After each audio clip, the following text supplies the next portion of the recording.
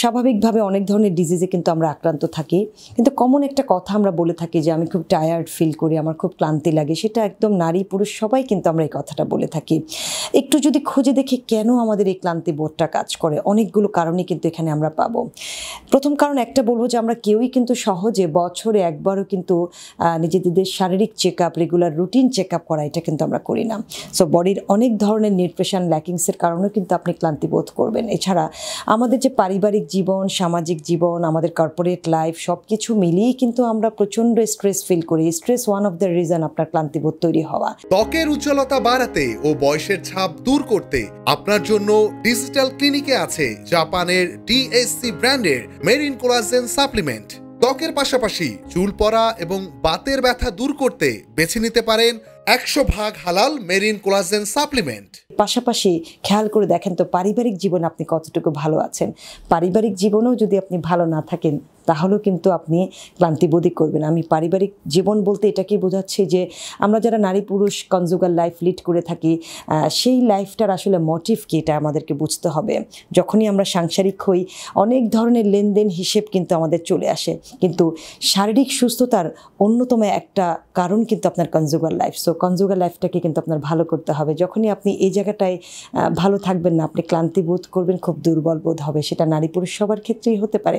এছাড়া যে কারণগুলো আমাদেরকে খুব ক্লান্তি নিয়ে আসে, তা হলো আমাদের খাদ্যাভ্যাসটা কি? খুব বেশি প্রসেস খাবার যদি আপনি কনজিউম করেন, আপনি ক্লান্তি বোধ করবেন। আপনার খাবারে যদি পর্যাপ্ত পরিমাণে পানি না থাকে, অর্থাৎ পানি যে নিউট্রিশনের একটা পার্ট এটা অনেকেই কিন্তু ভুলে যান। আপনি সারাদিনে দৈহিক চাহিদা অনুযায়ী যদি পানি না নিয়ে থাকেন, দিন শেষে আপনি ক্লান্তি বোধ করবেন হেডেক থাকবে, ভালো লাগবে না মুড সুইং হবে আপনার। আপনার যদি পর্যাপ্ত ঘুম না হয়, অর্থাৎ আমরা যেটাকে পর্যাপ্ত ঘুম বলি, এটা আসলে রাত দশটা থেকে শুরু করা উচিত। রাত দশটা থেকে ভোর ছয়টার ঘুমটা আপনার ক্লান্তি বোধটাকে একেবারে কাটিয়ে দিবে। যেহেতু এখন আমরা যে লাইফটা লিড করছি, একেবারে ডিজিটাল লাইফে আমরা কন্টিনিউ কিন্তু সমস্ত অ্যাটিটিউডগুলো ডিজিটালি হয়ে গেছে। খুব বেশি মোবাইল অ্যাডিকশান থাকে আমাদের ডিভাইসের সাথে, খুব বেশি কানেক্টেড থাকে। এই কানেক্টিভিটিও কিন্তু আপনাকে ক্লান্তি এনে দেয়। কতক্ষণ পর্যন্ত আপনি ডিভাইসের দিকে তাকিয়ে আছেন একটু খেয়াল করে দেখেন তো, এটা আপনার ব্রেনের প্রেশার পড়ে, এটার সাথে আপনার চোখ অ্যাটাচমেন্ট থাকে, আপনার নার্ভগুলো পুরো অ্যাটাচ হয়ে থাকে, যার কারণে কিন্তু আপনি খুব সহজেই ক্লান্তিতে চলে যাবেন। সেই জন্য এই জায়গাগুলোকে আপনাকে খেয়াল করতে হবে যে যতটুকুই না পারলে নয়, ততটুকুই শুধুমাত্র এর সাথে আপনি অ্যাটাচমেন্টে থাকবেন। খেয়াল করে দেখ দেখেন, একেবারে season wise natural fresh food আপনার খাদ্য তালিকায় আছে কিনা, প্রতিটা সিজনের খাবার কি আপনি পিক করছেন কিনা, বিশেষ করে সবজি এবং ফ্রুটসের কথা আমি বলব। এই খাবারগুলো খাদ্য তালিকায় না থাকলে আপনি ক্লান্তি এবং খুব দুর্বল ফিল করবেন।